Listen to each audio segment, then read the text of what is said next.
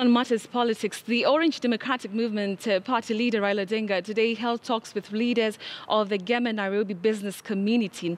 Raila Odinga was accompanied by NASA strategist Dr. David Ndii, lawyer Paul Mwangi, and the legislators TJ Kajwang and Jared Okello.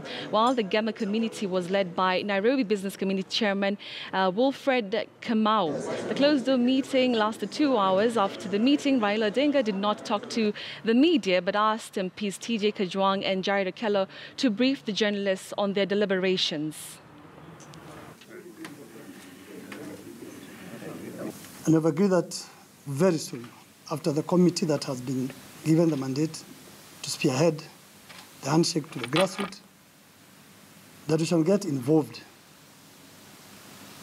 from the ward level to the constituency level up to the county levels of all the counties in the country. Uh, when we talk about uh, uh, building bridges, we are not talking about politics of 2022. We are talking about how we get a firm foundation for our future. We have reflected on the past, and now it is the time to build our future as one people.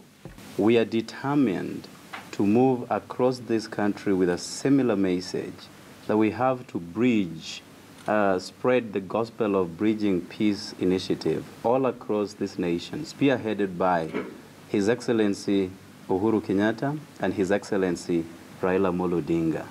We do hope that with this, this country is going to attain, achieve, uh, and get a rapid flight towards its economic, social, and uh, political progress.